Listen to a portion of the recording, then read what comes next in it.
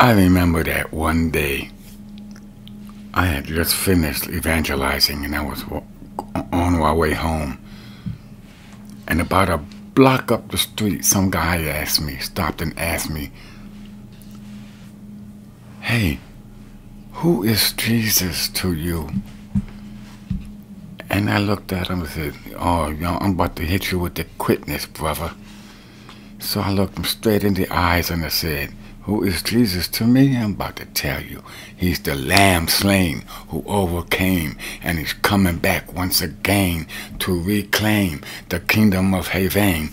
Amen, amen. Let the church say amen. And he was like, Wow, brother, that's deep. That is very deep. So I hope it hit him in his heart. You know what I'm saying? Amen.